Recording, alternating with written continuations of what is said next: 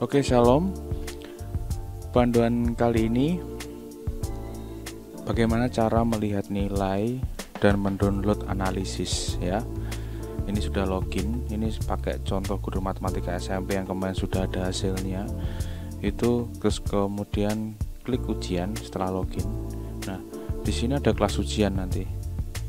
Nah, kelas ujiannya kelas berapa aja? Seandainya kelas ini contoh 9B ya. Saya kita lihat ya 17 anak. Nah di sini ada keluar nilai semua. Jumlah benar ya. Nah di sini bisa ekspor nilai berupa Excel.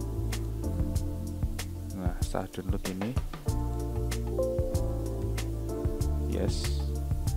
Nah ini nilainya. Sudah berupa Excel ya.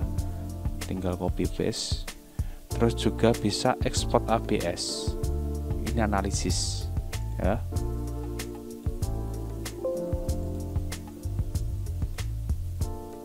Nah ini analisis. Dari nomor 1 2 3 4 dan namanya siapa ini? Oke gampang kan? Tanpa ngoreksi langsung keluar analisisnya. Oke berikut panduan bagaimana cara mendownload nilai dan mendownload analisis nilai. Selamat menikmati, jangan lupa ngopi. Terima kasih.